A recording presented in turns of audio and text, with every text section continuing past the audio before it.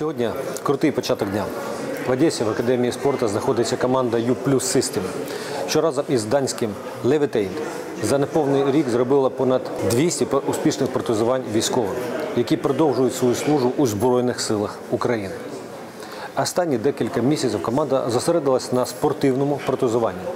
За зверненням центру реабілітації нашої 10-ї лікарні та керівництва Одеса Баскет сьогодні Юплюс System проводить протезування нашої команди. Баскетболісти змінять свої візки на сучасні спортивні протези.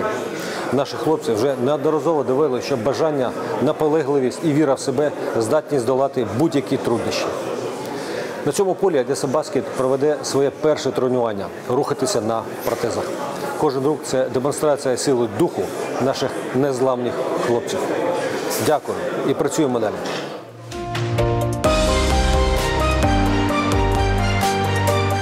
Треба, щоб ми були разом і надавали приклад всім. Всім, хто сьогодні, сьогодні може засумнівався, може якась депресія. Тому треба це робити і будемо це робити.